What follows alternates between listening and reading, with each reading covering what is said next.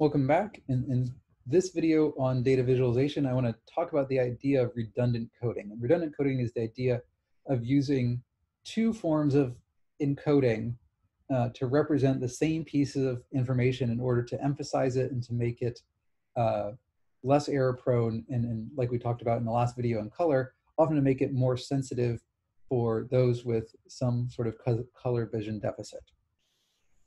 So here's an example of a, of a scatter plot uh, that kind of fails at uh, this. Uh, because what we have is we have three different colors, you know, an orange, a green, and a blue. Uh, they all have the same circular shape, and the two, two groups that are overlapping in space are the two groups uh, that are given the most similar color. Um, so we have, you know, you know, one group that jumps out as different from the other two, but the other two don't really jump out as different from each other.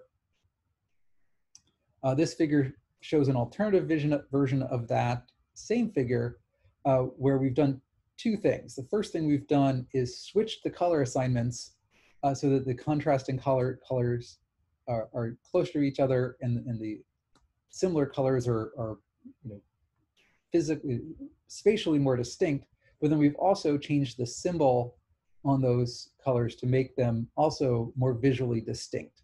So here we're using both uh, color and symbol to encode the same piece of information, not to encode two different pieces of information to kind of reinforce uh, that contrast.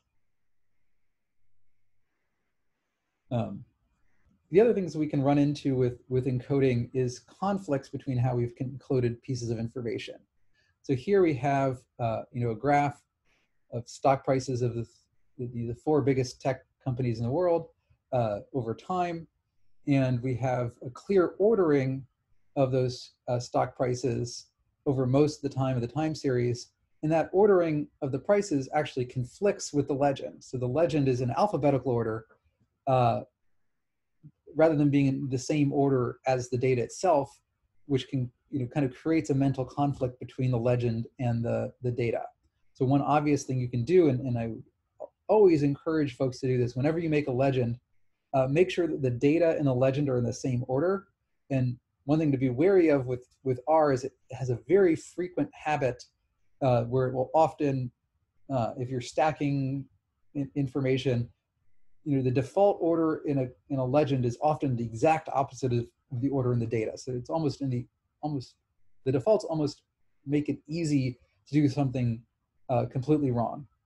Uh, and, and you could be much better off just taking that time to make sure that things are in the same order. In fact, if you go back to the, the very beginning set of these videos where I show that those examples of population growth rate, it, you know, I in fact did that. I have a figure uh, where the, the order of the curves is in one order and the, the legend for the, that is, is completely reversed. Um, so here's an, an, improved version of this where not only have we put things in a sensible order, but we've also try to design figures so they don't need legends. And that would be a, another general recommendation is uh, legends are important when you need them, but if you can avoid them altogether by directly labeling information, uh, that's usually much simpler for, for everyone involved because you don't have to visually move uh, between the figure and, and the legend in order to make, uh, in order to interpret figures. Uh, so here's another example of that, that initial figure we looked at uh, as well, where we've kind of gotten rid of the legend and directly labeled uh, the three groups and also added an ellipse around the three groups to kind of emphasize uh, you know, their, their mean and, and uh, variance. the other thing that is, is important to, to note, if you're using uh, multiple encodings uh, to, represent, to reinforce each other, so if you're using, you know, uh, what ggplot also calls, often calls aesthetics. If you're using you know multiple aesthetics, uh, try to make sure that you don't have separate legends for the same piece of information multiple times. So this is a, I think a nice example uh, where we've added color to the the ridgeline plot that we show, saw in an earlier video to emphasize uh, these temperature gradients. So we're kind of using in, you know, the, the temperature gradient is in the x-axis, but we're reinforcing that through the use of color. But what we wouldn't want to do here is then have like a vertical, you know, color bar uh, on the you know, on the y-axis, and then having you know the x-axis on the horizontal. So so now we've what we've done effectively. What, what was done effectively here? I didn't do this.